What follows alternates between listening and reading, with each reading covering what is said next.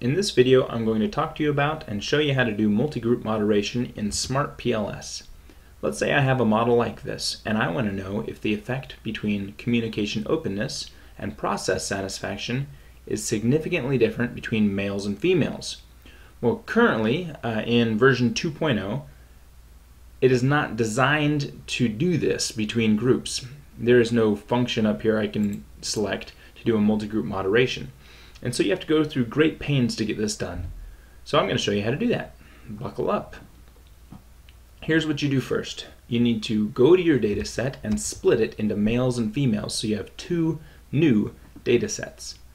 The way that you do that is you go to Data, Select Cases, if condition is satisfied, if gender, which for me is way down here, equals 1, that's males, continue, what we're going to do is we're going to copy selected cases to a new data set. And I'll say male for PLS. Name it whatever you want. Hit OK. And this is tricky. The one that pops up actually isn't the new data set, it's the original data set. So switch over to the new one. You'll see it says male for PLS up here. Save it.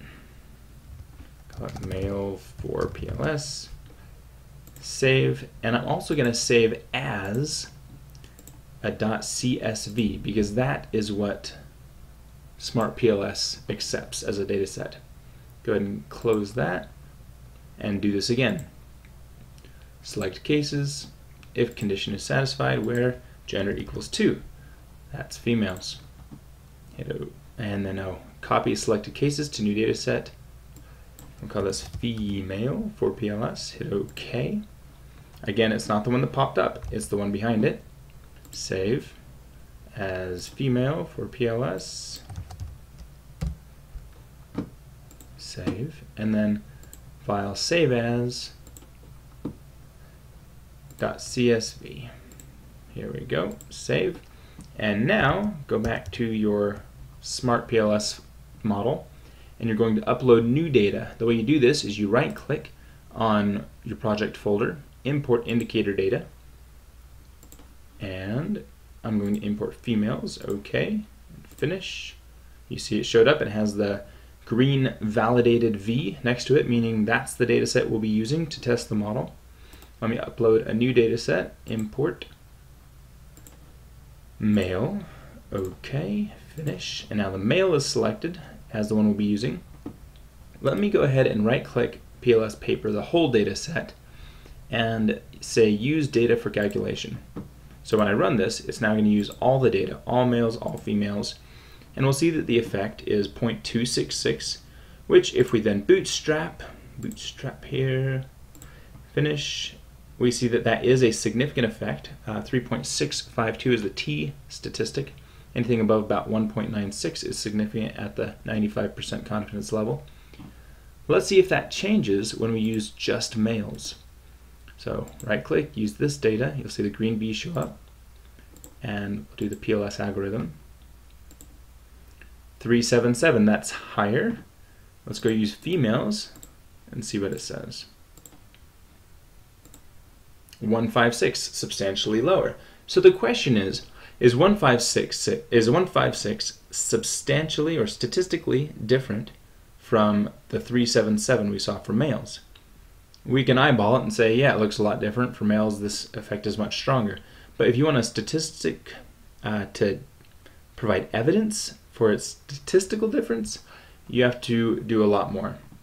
What you have to do is use this formula that Wynne Chin provides on his website, his FAQ about PLS website, to calculate a t-score. Or a t-statistic, excuse me. And then you can use Excel to provide a either two-tailed or right-tailed p-value. So let's do that. I've broken this down into many little pieces and then made it super easy so all you have to do is enter your sample size, regression weight, and standard error. Let's do that. So to do this, I'm going to bootstrap. Here we go. Bootstrap. Finish. And I'm going to go to the default report go to path coefficients, look for the sample mean between communication openness and process satisfaction. For females, the sample mean, that is the mean or the average estimate after running all of the 200 samples is 1 point, or 0.1589. So let me go enter that. Female, 0.1589 for the regression weight. The standard error is just to the right of this. Here's the standard error, 0.0447. 0.0447. Is that right? Yep. Enter. And the sample size, let's go find out the sample size. Here's the female for PLS. Just go down to the bottom. I have 158 of them. Here we go, 158. Let's go find out for males. As long as I'm here, is the male data set open? Nope. So I'll go open the male data set. Say male for PLS. Go to the bottom. I have 188 males, 188.